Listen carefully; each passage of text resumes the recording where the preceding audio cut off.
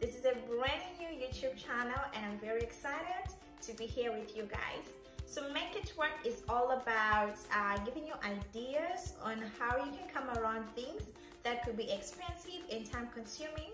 I've learned so many things over the course of the time because my life is very busy and I still want to get many things done. So as our first official video today, I'm gonna be showing you a very quick recipe that you can make for your family, for yourself, or whatever the case may be. This is a very fast and filling recipe. I learned part of it from my auntie. She actually doesn't know that I was learning when she was making it in the house every other time. So stay tuned to get the details of the recipe. I hope you will like it. But don't forget to like, comment, and subscribe ask me anything that you may want to ask me guys. But without wasting a lot of your time let's get right into the video. Welcome by the way to make it work with Melz so yeah stay tuned and let's do it. All right so here is our freshly washed chicken. I brought some chicken pieces. I've already rinsed them. So what I'm gonna do is to add these spices. So this is a combination of Rajah all-in-one spice and two different chicken spices. I need a lot of flavor in my spice. That's why I have three combined all together. And here I have my tomato ketchup. Tomato ketchup, I'm gonna create something like a, a thousand islands using tomato ketchup and salad dressing or salad cream or mayonnaise, whatever that you have in your house. So now, oh, I'm just gonna put a little bit of salt. Here's my salt shaker. I'm just gonna put a little bit of salt in here. It's not really an amount. I like to shake it off like this until I feel like my chicken has the right amount of salt. And then I take my tablespoon, I mix it all together like this, or like this. This is just to make sure that all the pieces have salt in them. Salt is the most important ingredient in any dish that you may cook. I'm gonna add a little bit of salt once again. Trust me, it's not too much. It's not even too much salt. Uh, because we're gonna put in a lot of other vegetables in their cooking pan. So the salt will just spray to every other vegetable and then the taste will be even and very nice. The next thing that I'm gonna do is to add my spices. I'm gonna add them like this to make sure that everything is nicely coated. I'm gonna take my tablespoon.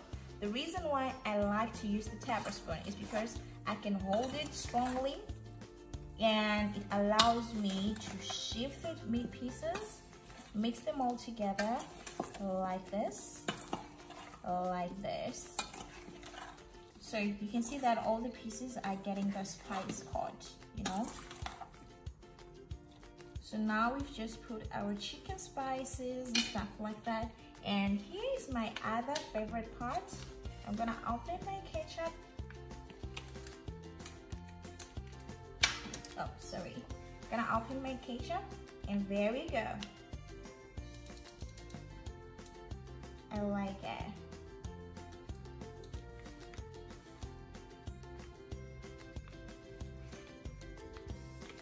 Okay. I didn't really need to transfer it to another. And I'm gonna open my my salad dressing. Oh my god, it's actually hard to open. Okay, there we go. And there we go. So this one here I definitely need another spoon to help myself. After we've put some tomato ketchup, just gonna go in.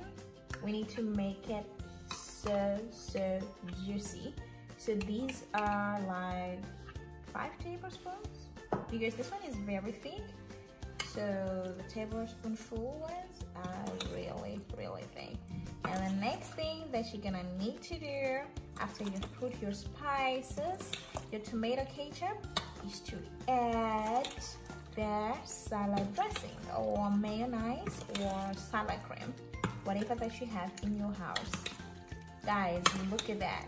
The marinade and the aroma is just so good. Makes me feel like eating it already. So boom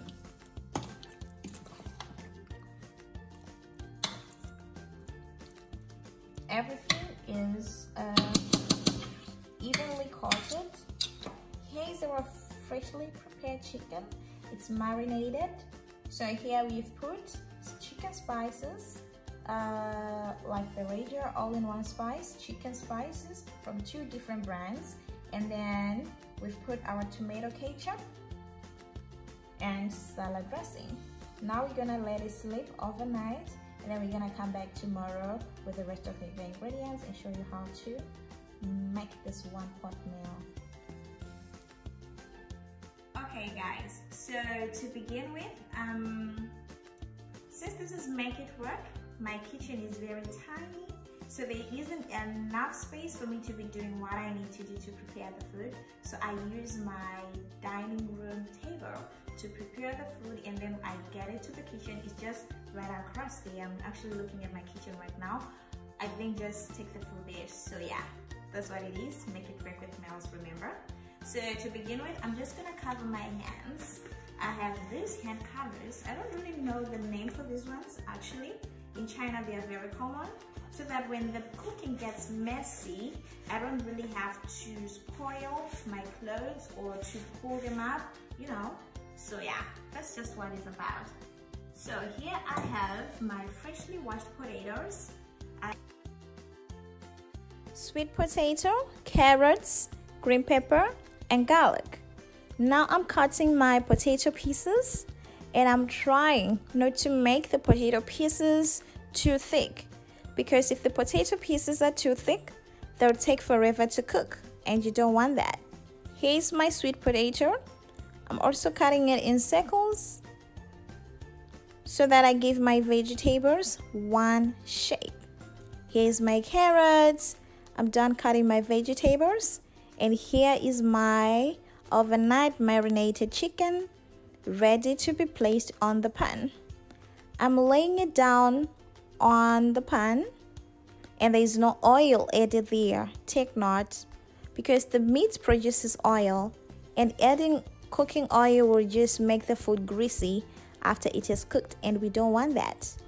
And right now I'm just scattering around the vegetable pieces and I'm just gonna make sure that all the pieces have some marinade on them to retain the flavor. You need flavor in this dish guys. Oh it's so yummy. So the juice is just gonna give it all that extra flavor that we need and I'll also put my carrot pieces on top of everything I've mixed my vegetables and meat a bit so that all the pieces get to feel the heat and cook up nicely here I'm just cutting out the garlic pieces to sprinkle on top of the dish so that the garlic can just produce that aroma and also add flavor. They are not really like oven people like we are. So it's very rare to find a house that's got an oven. So I had to buy like a tiny oven. It really gets the job done and I love it so much. So that's where we're gonna be putting this, everything is well set and ready to cook. So I'm gonna be putting it in the oven for maybe the first 30 minutes. After everything is started to brown, Um, I'm, going, I'm just gonna go in and turn the meat pieces as well as the vegetables that we have here so that they can cook both sides. So now let's get to the oven. There you have it. We're gonna let the food cook for 30 minutes. I did not preheat the oven because it is not a requirement. After 30 minutes, the food is gonna look just like this. Already it looks so appetizing. But at this point, we are just not done cooking. We need to turn the meat pieces as well as the vegetables to allow them to cook on both sides. This way the vegetables will be very soft and nice If you want them crunchy, well, I don't know, but for me, this is how I prefer them.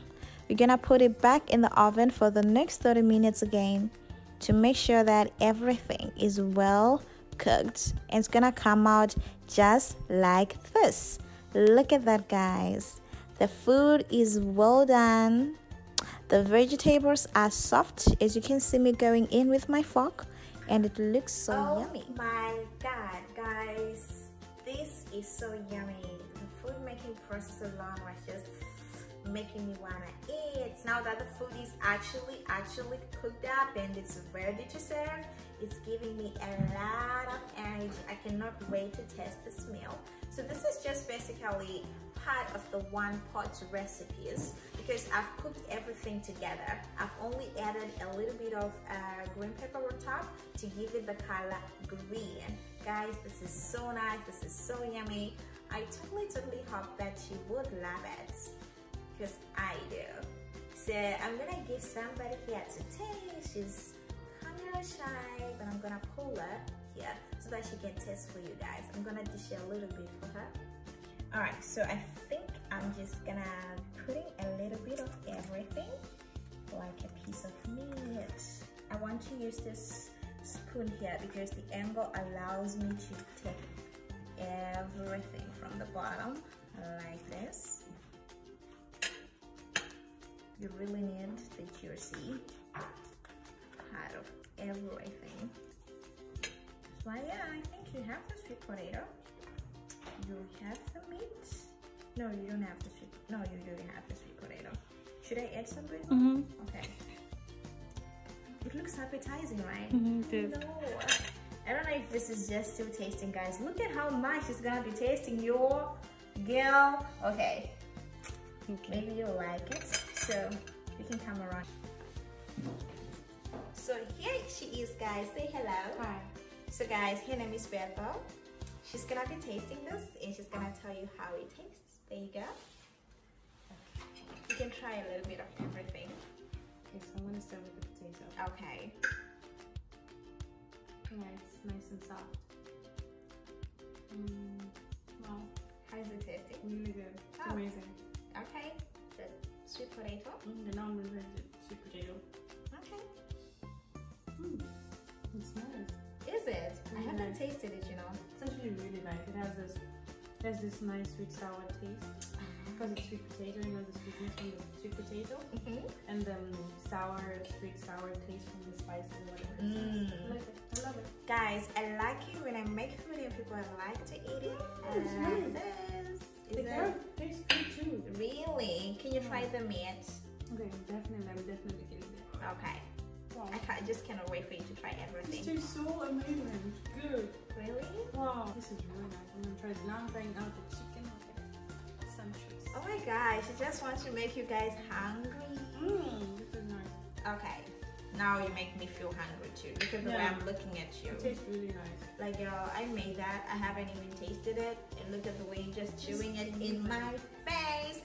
So yeah guys, so that's Make It Work with Melz. You've heard, it's very yummy. Especially the sweet potato, look at it.